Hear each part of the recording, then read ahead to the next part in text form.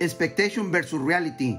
In this video, I want to shed some light on a few things you should consider when buying or selling real estate. Hi everyone, it's Naim Olachea with the Associate Realty Group. You are buying in today's market, it's important to know that it may not be as simple as pointing out a home and then being able to purchase it. When writing offers, we may need to make some adjustment in order to be competitive due to current market conditions.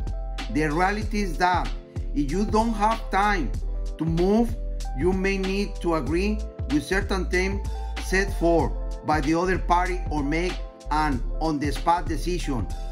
If you do have time, you'll have more flexibility to find a home that you are satisfied with. On the other hand, if you are selling, the expectation might be you put your home on the market and you could have one interested buyer. In reality, there is a good chance that we may have a line of qualified buyers waiting at your door. This put us in the driver's seat to get you a price that you are happy with and to negotiate favorable terms.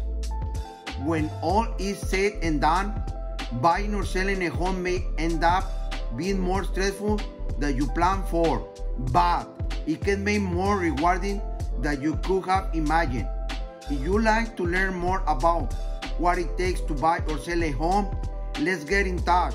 I look forward to hearing from you. Thank you.